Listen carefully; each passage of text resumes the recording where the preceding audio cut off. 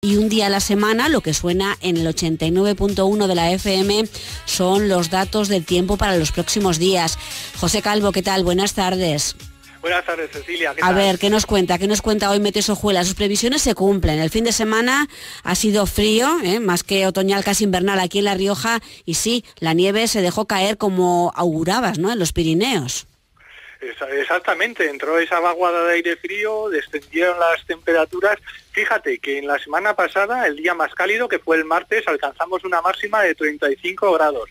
Y el domingo nos quedamos en 18. Mira tú. 17 grados de diferencia en la misma semana. Por otra parte, son situaciones que no son extrañas, esos coletazos otoñales se pueden dar perfectamente en el inicio de septiembre, finales de agosto, y aquí aunque los copos no los vimos, o por lo menos no tuvimos apreciación de, ellos, sí que Lorenzo nos enviaba imágenes ya de las primeras heladas, de esos charcos helados, que desde luego hacen intuir que el verano se acaba. Aunque ya poquito a poquito el tiempo va mejorando. Eh, el fin de semana, bueno, eh, se notaba helada eh, por Valdezcaray, por, por San Lorenzo, en esas fotos de, de, Lorenzo. Y, bueno, aquí nieve no, pero precipitaciones en forma de agua importantes también el fin de semana, sobre todo el sábado. Sí, sí, también ha, caído bien, ha, llovido, de hecho, en el resumen climático del mes de agosto según las estaciones de, que tengo yo aquí en, Logroño y a espera de, los datos oficiales de ANET, se ha, sido un mes de agosto bastante húmedo. De hecho, no sé si recuerdas que ha habido muchas tormentas que han dejado, ya sabemos que las precipitaciones de las tormentas son irregulares, pero bueno, en conjunto ha sido húmedo y de temperatura. Aunque estaba siendo un agosto eh, más cálido de lo habitual, esta entrada fría ha hecho que se normalice. Así que la, media de, agosto en La Rioja andará en torno a la, a la normalidad, incluso un poquito menos. Ya, ya veremos los datos. Ahora ya lo notamos también, las noches y las madrugadas eh, más bien frías, pero bueno, a partir de hoy, como comentas, vuelve la estabilidad y seguimos todavía en verano. Efectivamente, el anticiclón ya, ya se ha instalado entre nosotros.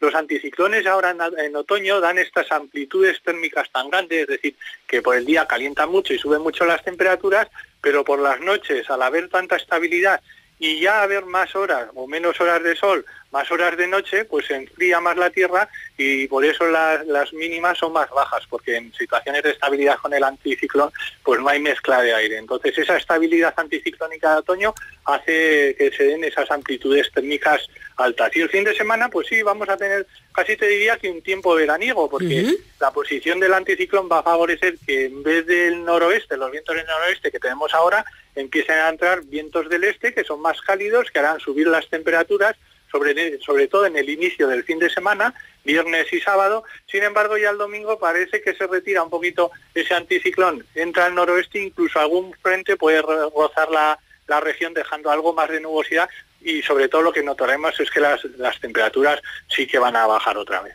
Bueno, y, el lunes que, hay que volver a clase y además se puede volver de momento, de momento va a ser presencial el inicio de este curso y habrá que ir pues a esa hora un poco abrigado.